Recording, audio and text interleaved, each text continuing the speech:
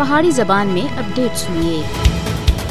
एक पासे भारत ਆਪਣੇ ਆਪ ਕੋ ਦੁਨੀਆ ਦੀ ਸਭ ਤੋਂ ਬੜੀ ਜਮਹੂਰੀਅਤ ਦਾ ਦਾਵਾ ਕਰਦਾ ਨਹੀਂ ਥਕਦਾ ਦੂਏ ਪਾਸੇ ਮਕਬੂਜ਼ਾ ਰਿਆਸਤ ਜੰਮੂ ਕਸ਼ਮੀਰ ਵਿੱਚ ਉਹ ਕਾਰ ਸਿਆਸਤ ਅੰਜਾਮ ਦੇ ਰਿਹਾ ਹੈ ਜਿਨ੍ਹਾਂ ਦੀ ਤਫਸੀਲ ਜਾਣ ਕੇ ਫਿਰੌਨ ਔਰ ਨਮਰੂਦ ਦੀ ਰੂਹ ਵੀ ਪਨਾਹ ਮੰਗਦੀ ਹੋਸੀ महकूम और मजलूम कश्मीरियों उत्ते जुल्म बरबरीत कत्ल गारतगरी मार धाड़ घरों को साड़ना चाड़ना जाली मुकाबले में कत्ल करना दौरान हिरासत कत्ल लापता करना ਕੈਦੋਬੰਦੀ ਸਹੂਲਤਾਂ, ਸ਼ਕਤੀ ਬੁਨਿਆਦ ਉਤੇ ਗ੍ਰਿਫਤਾਰੀਆਂ, ਇੱਜ਼ਤ ਮਾਂ ਮਾਵਾ ਭੈਣਾਂ ਦੀ ਚਾਦਰ ਇਸਮਤ ਦੀ ਪਾਮਾਲੀ ਉਥੇ ਹਰ ਦਿਹਾੜੇ ਦਾ ਮਾਮੂਲ ਹੈ। ਉਹ ਦਰਿੰਦਰ ਸਿਫਤ ਫੌਜੀ ਜਿਹੜੇ ਇਹਨਾਂ ਮਕਰੂਹ ਕਰਤੂਤਾਂ ਵਿੱਚ ਮੁਲਾਵਸ ਨੇ ਉਹਨਾਂ ਕੋ ਇਨਾਮ ਇਕਰਾਮ ਥੀ ਨਵਾਜ਼ਿਆ ਜੁਲਦਾ ਹੈ, ਪ੍ਰਮੋਸ਼ਨ ਦਿੱਤੀ ਜੁਲਦੀ ਹੈ। ਅੱਜ ਤੱਕ ਕਸੇ ਇੱਕ ਮੁਜਰਮ ਫੌਜੀ, ਚਾਹੇ ਉਹ ਜੰਗਲਾਤ ਮੰਡੀ, ਇਸਲਾਮਾਬਾਦ, ਮੱਛਲ ਜਾਲੀ, ਝੜਪ, ਹੈਦਰਪੁਰਾ, ਆਮਸ਼ੀਪੁਰਾ, ਬਰਾਕਪੁਰਾ ਪਥਰੀਬਾਲ ਛਟੀ ਸਿੰਘਪੁਰਾ ਜਾਂ ਸਾਨੇ ਹਿੰਦਵਾੜਾ, ਕੁਪਵਾੜਾ ਵਿੱਚ ਮੁਲਾਵਸ ਹੈ, ਸਜ਼ਾ ਨਹੀਂ ਦਿੱਤੀ ਗਈ। भारत सुन अपने इन्हें खलीज कारनामे उत्ते लख पर्दा बहने की काविश की थी, लेकिन फिर भी भारत न सिर्फ़ इलाकाई बल्कि बैन अवी सतह उत्ते नंगा हो चुका है।